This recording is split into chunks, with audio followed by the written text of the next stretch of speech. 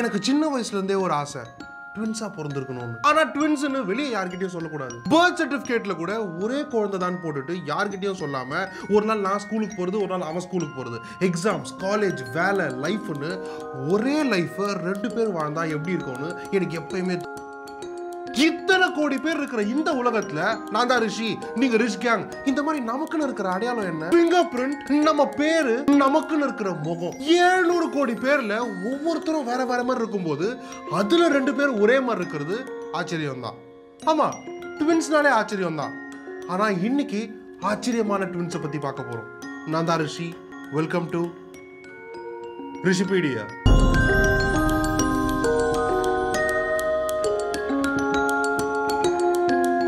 கதையுமே ஒரு ஊர்ல ஒரு பொண்ணும் பையனும் இருந்தாங்கன்னு தான் ஆரம்பிக்கும். அதே மாதிரி தான் எண்பது வருஷத்துக்கு முன்னாடி நைன்டீன் ஃபார்ட்டிஸ்ல ஜான் ஃப்ளாரன்ஸ்னு ஒரு பொண்ணும் பையனும் கல்யாணம் பண்ணிக்கிட்டாங்க. லவ் மேரேஜ் தான். கல்யாணம் பண்ணி ஆறு வருஷம் கழிச்சு அவங்க ரெண்டு பேருக்கும் ஒரு பொன் குழந்தை பிறகுது பேர் கூட ஜோவானான்னு வைக்கிறாங்க. ஏன்னா ஃப்ளாரன்ஸ் சின்ன வயசுல இருந்தே அவங்களுக்கு ஒரு பொன் குழந்தை பிறந்தா ஜோவானான் தான் பேர் வைக்கணும் அப்படின்னு நினைச்சிருந்துருக்காங்க. இப்போலாம் என்டர்டைன்மெண்ட்டுங்கிறதே இருக்காதுங்கிறதுனால ஜானுக்கும் ஃப்ளாரன்ஸ்க்கும் ஜோனா பிறந்த உடனே அவங்க லைஃபே ரொம்ப சந்தோஷமா மாறிடுச்சு. அஞ்சு வயசா இருக்கும் போது ஜோவானாக்கு ஒரு தங்கச்சி பாப்பாவும் பிறகுது அந்த குழந்தைக்கு ஜாக்லின்னு பேர் வச்சாங்க. அதுவும் ஒரு வீட்ல ரெண்டு குழந்தைங்க பிறந்தா ஒரே மாதிரி ஸ்டார்ட் ஆகிற பேர் வைப்பாங்க.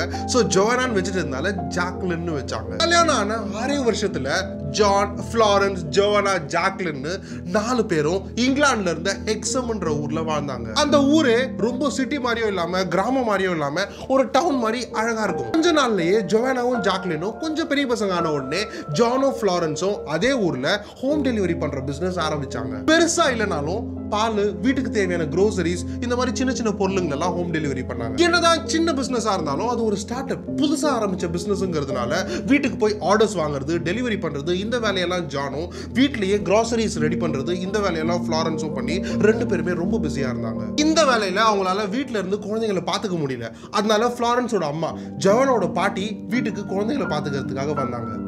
என்னதான் பாட்டி வீட்டில் இருந்தாலும் ஜோயானாவும் ஜாக்லினும் தனியாவே தான் வளர்ந்தாங்க. ஜாக்லினை விட ஜோயானா அஞ்சு வயசு பெரிய பொண்ணுங்கிறதுனால அவ்வளோ அழகா பார்த்துப்பா. எனக்கே ஆச்சரியமா இருக்கும். ஜோயானா கண்டிப்பா ஃபியூச்சர்ல ஒரு நல்ல அம்மாவா வருவான்னு அவங்க பாட்டியே சொல்லியிருக்காங்க. இந்த ரெண்டு குழந்தைங்களும் எப்பயுமே பொம்மைங்களெல்லாம் கொட்டி அதுல ஜோயானா கொஞ்சம் பொம்மைங்க ஜாக்லினுக்கு கொஞ்சம் பொம்மைங்கன்னு பிரிச்சு ரெண்டு பேரும் அவங்க பொம்மைங்க கூட விளையாடிக்கிட்டே இருப்பாங்க.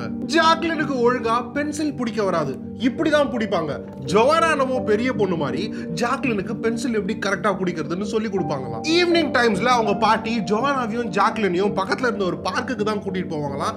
அந்த பார்க்குக்கு வர மற்ற குழந்தைங்களோட பேரண்ட்ஸ் கூட இந்த ரெண்டு குழந்தைங்களும் ரொம்ப மெச்சோர்டாக பிஹேவ் பண்றாங்கன்னு ஆச்சரியமா பார்ப்பாங்க. இதே டைம்ல ஜானும் ஃப்ளாரன்ஸும் ஆரம்பிச்ச அந்த ஹோம் டெலிவரி பிஸ்னஸ் எக்ஸம் ஃபுல்லாக கொஞ்சம் ஃபேமஸ் ஆகி நல்லாவே டெவலப் ஆயிட்டு வந்துச்சு. May seven nineteen fifty seven அன்னைக்கு ஜோவானோட பாட்டிக்கு உடம்பு சரியில்லை. ஆனா அன்னைக்கு ஒரு சண்டேன்றதுனால சர்ச்சுக்கு போகணுன்னு ஜோவானாவையும் ஜாக்லினையும் சர்ச்சுக்கு போக சொன்னாங்க. ஆனால் சின்ன குழந்தைங்களை எப்படி தனியாக அனுப்புறதுன்னு பக்கத்து வீட்டு பையன் அன்னைக்கு சர்ச்சுக்கு கிளம்பிட்டு இருந்தப்போ மூணு பேரையும் ஒன்றா போக சொன்னாங்க. ஜாக்லினுக்கு ஆறு வயசு ஜோனாக்கு பதினோரு வயசு பக்கத்து வீட்டு பையனுக்கு பத்து வயசு. இந்த மூணு பேரும் ரோட்டில் யாருமே இல்லாத ரோட்டில் சிரிச்சு பேசின்னு ஜாலியாக சர்ச்சுக்கு நடந்து போயிருந்துருக்காங்க. அப்போ பின்னாடி வேகமாக வந்த கார் ஒன்று மூணு குழந்தைங்களையும் அடித்து தூக்கிடுச்சு. உடனே சுற்றி இருந்தவங்கெல்லாம் ஓடி வந்து பார்த்தப்போ அந்த காரை ஓட்டின்னு வந்தது ஒரு பொண்ணு. அவங்களால அந்த கார்ல இருந்து இறங்கி ஒழுங்கா நிக்க கூட முடியல. அவங்க யாருன்னு தெளிவா அவங்களுக்கு சொல்ல கூட தெரியல. அந்த பொண்ணு யாருன்னு விசாரிச்சப்போ அன்னைக்கு காலையில தான் கோர்ட்ல அவங்களோட டிவோர்ஸ் கேஸ் நடந்திருக்கு. அவங்க குழந்தைங்களோட கஸ்டடி அவங்க ஹஸ்பண்டுக்கு போயிட்டதுனால இனிமே அந்த பொண்ணால அவங்களோட குழந்தைங்களை பார்க்க முடியாதுன்னு கோர்ட்ல ஜட்ஜ்மெண்ட் வந்திருக்கு. இனிமே அவங்க குழந்தைங்களை பார்க்கவே முடியாதுன்னு ரொம்ப அப்செட் ஆனதுனால அந்த லேடி பெயின் கில்லர்ஸ் ஆப்ரேஷன்லாம் முடிஞ்சிட்ட அப்புறம் நம்மளுக்கு வலிக்க கூடாதுன்னு பெயின் கில்லர்ஸ் தருவாங்கல்ல. அதை நிறைய சாப்பிட்டுட்டு சூசைட் பண்ணணும்னு காரை வேகமாக ஓட்டின்னு வந்திருக்காங்க. இப்போதான் அந்த லேடி நான் சூசைட் பண்ணலாம் தான் போயிட்டு இருந்தேன் ரோட்ல இந்த குழந்தைங்களை பார்த்தேன்.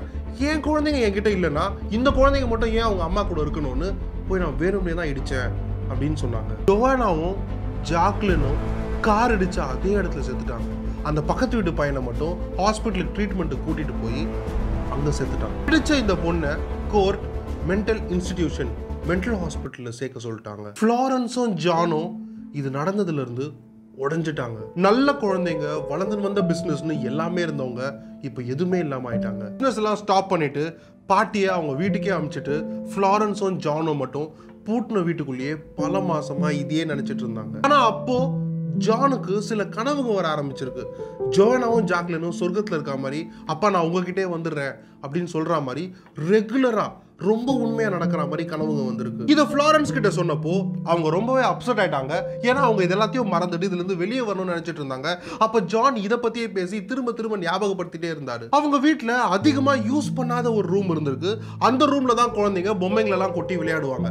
அந்த ரூம்குள்ள போனாலே குழந்தைங்க இருக்கிற மாதிரி எனக்கு தோணுது. நான் தனியா இருக்க மாதிரி எனக்கு ஃபீல் ஆகல அப்படின்னு ஜான் சொல்லிட்டு அதே ரூம்ல தூங்கவும் தங்கவும் ஆரம்பிச்சிருக்காரு. இதுக்கு மேல ஃப்ளாரன்ஸால பொறுத்துக்கவே முடியல. நான் எவ்வளவோ கஷ்டப்பட்டு இதை மறக்கணும்னு நினைச்சாலும் நீ திரும்ப திரும்ப அதை பத்தியே பேசுற இல்ல அந்த ரூம்குள்ளேயே இருக்க அப்படின்னு ரொம்ப அப்செட் ஆனப்போ ஜான் அத்தனை வருஷமா ஃப்ளாரன்ஸ் கிட்ட சொல்லாத ஒரு விஷயத்த சொல்றாரு. ஜான் சின்ன பையனா ஒன்பது வயசு பையனா இருக்கும்போது ஒரு புக் படிக்கிறாரு. ரீஇன்கார்னேஷன் பத்தி. சாகிறவங்கெல்லாம் மறுஜென்மம் எடுத்து வேற ஒருத்தவங்களாம் பிறக்கிற மாதிரி அந்த புக்ல போட்டிருக்கு. அதை படிக்கிறாரு. அதை நம்புறாரு. அப்பவே ஜானுக்கு இதை பத்தியே கனவுங்க தாட்ஸ் பார்க்குற எல்லாமே இப்படியே தெரிஞ்சிருக்கு. அவர் கூட இருந்த பசங்க கிட்ட சொன்னப்போ அவங்க போய் பெரியவங்க கிட்ட சொல்லி ஜானை கூப்பிட்டு திட்டிருக்காங்க. ஏன்னா ஜான் கேத்தலிக் கிறிஸ்டியன் கேத்தலிசம்ல செத்த அப்புறம் இன்னொரு லைஃப் இருக்கு. எட்டர்னல் லைஃப் இருக்கு. இங்க எப்படி வாழ்றோமோ செத்த அப்புறம் எட்டர்னல் லைஃப்ல ஜீசஸ் கிட்ட வாழ்வோம் அப்படின்னு நம்புறாங்க. அதனால ஜான் சொல்றது தப்பு. இந்த மாதிரி மற்ற பசங்க கிட்ட சொல்றதெல்லாம் பாவம்னு அந்த சர்ச்சில் இருக்கிற பெரியவங்களே ஜானை கூப்பிட்டு ஸ்ட்ரிக்டா கண்டிச்சிருக்காங்க. அதோட இதை பத்தி வெளியே பேசுறதையே நிப்பாட்டிட்டாரு ஜான் ஆனா ஜான் சின்ன பையனா இருக்கும்போது கடவுள் கிட்ட கேட்பாராம். எனக்கு காட்டுறீங்க? எனக்கு புரிய வைக்கிறீங்க? ஆனா ஒரே ஒரு ப்ரூஃப் ஒரே ஒரு எவிடன்ஸ் காட்டுனீங்கன்னா நான் எடுத்துட்டு போய் என் சர்ச்சில் இருக்கிற பெரியவங்ககிட்டலாம் காட்டுவேன்ல. ஸோ எனக்கு ஒரே ஒரு எவிடன்ஸ் காட்டுங்க. அப்படின்னு ஜான் சின்ன பையனா இருக்கும்போது கடவுளை டெய்லி கேட்பாராம். இதை கேட்டுட்டு ஃப்ளாரன்ஸ் இப்பயே இதெல்லாம் என்கிட்ட சொல்கிறீங்க அப்படின்னு கேட்டப்போ நம்ம பசங்க திரும்ப நம்மக்கிட்டே வர போகிறாங்க நான் அதை கனவுல மட்டும் பார்க்கல நேர்லேயும் பார்த்தேன் அப்படின்னு ஜான் சொன்னதுக்கு இதுக்கு மேலே இதை என்னால் டாலரேட்டே பண்ணிக்க முடியாதுன்னு சொல்லி ஃப்ளாரன்ஸ் டிவோர்ஸ் அப்ளை பண்ணுற வரைக்கும் போகிறாங்க உடனே ஜான் இதுக்கு மேலே இதை பற்றி நான் பேச மாட்டேன் ப்ராமிஸ் பண்ணுறேன்னு சொல்லி ஃப்ளாரன்ஸை சமாதானப்படுத்தி வீட்டிலேயே இருக்க வைக்கிறாரு. வீட்டில் இருந்த கொஞ்சம் மாதத்துலேயே ஃப்ளாரன்ஸ் எதிர்பார்க்காத டைமில் ப்ரெக்னென்ட் ஆகிட்டாங்க பொதுவாக ப்ரெக்னென்ட் ஆகுறதுன்றதே ரொம்ப சந்தோஷமான ஒரு விஷயம் தான் ஆனால் ஜான் ஃப்ளாரன்ஸோட வாழ்க்கையில் இவ்வளோ கஷ்டத்துக்கு அப்புறம் ப்ரெக்னென்ட் ஆனப்போ ரெண்டு பேருக்குமே கொஞ்சம் சந்தோஷமாக இருந்துச்சு. இந்த விஷயம் ஃப்ளாரன்ஸ்க்கு ரொம்ப ஷாக்காக இருந்தாலும் ஜானுக்கு இது நடக்க போகுதுன்னு அவருக்கு முன்னாடியே தெரியுன்ற மாதிரியும் அவர் இத்தனை நாளாக சொல்லி யாருமே நம்பாத ஒரு விஷயம் இப்போ நடக்க போகுதுன்ற மாதிரியும் பிஹேவ் பண்ணிருந்தாரு. எதுக்கும் வெரிஃபை பண்ணிக்கலாம்னு ஹாஸ்பிட்டல் போனப்போ வயிற்றுல குழந்தை இருக்கிறது மட்டும் வெரிஃபை ஆகாம அந்த குழந்தை ரொம்ப ஹெல்த்தியா இருக்கணும்னு டாக்டர் சொல்லியிருக்காங்க. டியூ டேட்டும் வந்து ஜான் ஃப்ளாரன்ஸ் ஃப்ளாரன்ஸோட அம்மா டாக்டர்னு எல்லாரும் வெயிட் பண்ணி டெலிவரி பண்ணப்போ பிறந்தது ட்வின்ஸ் ரெண்டு குழந்தைங்க. இப்போ எல்லாருக்குமே இது ஷாக்கு தான். ஏன்னா டாக்டர் குழந்தை ஹெல்த்தியா இருக்குன்னு சொன்னப்போ அது ட்வின்ஸா அது ட்வின்ஸா அப்படின்னு ஜான் ரெண்டு முறை கேட்டப்போ டாக்டர் இல்ல ஒரு குழந்தை தான் அப்படின்னு சொல்லியிருந்தாங்க. பிறந்த ரெண்டுமே கேர்ள் பேபிஸ் பெண் குழந்தைங்க. ஐ நோ இது நடந்துச்சுன்றதை ஏத்துக்கிறதுக்கே எல்லாருக்கும் கொஞ்ச நாள் ஆச்சு. குழந்தைங்களுக்கு ஜெனிஃபர் கில்லியன்னு பேர் வச்சாங்க. வகையில் இதெல்லாம் சந்தோஷமா இருந்தாலும் ஃப்ளாரன்ஸ்க்கு ஜானோட சின்ன வயசுல நடந்தது ஜான் சொன்னது டாக்டர் சொன்னது பிறந்த ட்வின்ஸ்னு இதெல்லாம் வச்சு பார்க்கும்போது பயமா இருந்ததுனால அவங்க ஏற்கனவே இருந்த ஹெக்ஸம்ன்ற ஊரை விட்டுட்டு விட்லி பேன்ற ஊருக்கு போறாங்க. நிறைய பேருக்கு பிறக்கும் போதே பர்த் மார்க் இருக்கும். இந்த மச்சம் ஸ்கார் ஒரு டாட் அந்த மாதிரி பிறக்கும் போதே இருக்கும். அதுக்கு ரீசன்லாம் கிடையாது. அதனால தான் அதுக்கு பேர் பர்த் மார்க்னு சொல்லுவாங்க. விட்லி பேக் போயிட்டு நடந்த எல்லாத்தையும் மறந்துட்டு லைஃப்பை புதுசாக ஸ்டார்ட் பண்ணலாம்னு நினச்சப்போ ஜெனிஃபர் கால் தடுக்கி ஒரு பக்கெட்டில் விழுந்து அவங்களுக்கு அடிபடுது. நெத்தியில் இந்த ஐப்ரோஸ் கிட்ட. அடிபட்டு கொஞ்சம் மாதம் கழிச்சு ஸ்கார் தழும்பு மாதிரி ஆயிடுது அந்த தழும்பை பார்க்கும்போது தான் ஜோவானாக்கும் அதே இடத்துல அதே மாதிரி ஒரு பேர்த் மார்க் இருந்திருக்கு. ஜானோ ஃப்ளாரன்ஸோ இந்த புது ஊருக்கு வந்ததே நடந்ததெல்லாம் மறக்கணுன்றது ஒரு ரீசனாக இருந்தாலும் இந்த குழந்தைங்களுக்கு நடந்த எதுவுமே தெரியக்கூடாது. ஏன்னா இந்த விஷயம் சின்ன குழந்தைங்களுக்கு தெரிஞ்சிச்சுன்னா டிஸ்டர்ப் ஆயிடுவாங்க. அவங்களுக்கு பதினெட்டு வயசு ஆகும்போது 18th பர்த்டே அன்னைக்கு நம்மளே என்ன நடந்துச்சோ ஃபுல்லாக சொல்லிடலாம் அப்படின்னு நினைச்சிருந்தாங்க. ஆனால் நம்ம நினைக்கிற எல்லாமே நடந்துடாது இல்லை ஜெனிஃபருக்கும் கில்லியனுக்கும் விளையாடுற வயசு வந்தப்போ பொம்மைங்களை எடுத்து விளையாட கொடுத்துருக்காங்க. எந்த பொம்மைங்கன்னா பழைய வீட்டிலேருந்து எடுத்துகிட்டு வந்த கட்டி வச்சுருந்த அந்த பழைய பொம்மைங்க. அதை எடுத்து கொடுத்தப்போ கரெக்டாக ஏற்கனவே தெரிஞ்ச மாதிரி ஜொவானோட பொம்மைங்களெல்லாம் ஜெனிஃபரும் ஜாக்லினோட பொம்மைங்களெல்லாம் கில்லியனும் கரெக்டாக பிரித்து வச்சு விளையாட ஆரம்பிச்சிருக்காங்க. ஒரு நாள் ஃப்ளாரன்ஸை பார்க்குக்கு கூட்டிட்டு போக சொல்லி ஜெனிஃபர் அழுதுருக்கா. ஃப்ளாரன்ஸ் எந்த பார்க்குன்னு கேட்டிருக்காங்க. ஏன்னா அவங்க வீட்டை சுற்றி எந்த பார்க்குமே இல்லை. இவங்களும் எந்த பார்க்குக்கும் போனது கிடையாது.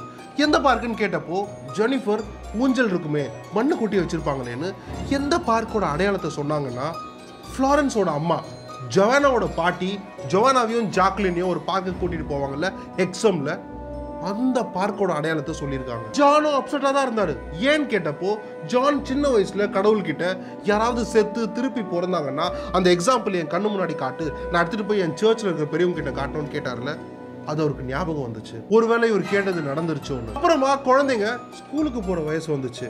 அப்போது கில்லியனுக்கு பென்சில் பிடிக்க கஷ்டமாக இருந்துச்சு. எப்படி தெரியுமா பிடிச்சாங்க? இப்படி. அதோட முடிஞ்சது. ஃப்ளாரன்ஸால இதுக்கு மேல டாலரேட்டே பண்ணிக்க முடியாதுன்னு அப்போ இருந்த ஒரு famous psychologist doctor Ian Stevenson கிட்ட அவங்களோட குழந்தைங்களை கூட்டிட்டு போறாங்க. இந்த மாதிரி வியடான விசித்திரமான கேசஸை ஹேண்டில் பண்றதுக்குனே படிச்ச ஒரு சைக்காலஜிஸ்ட்னாலேயே இதை அக்செப்ட் பண்ணிக்க முடியல. அவருக்கு அவ்வளோ ஆச்சரியமா இருந்துச்சு. நம்ப முடியாத மாதிரி இருந்துச்சு. இப்படி நடக்க வாய்ப்பே இல்லை.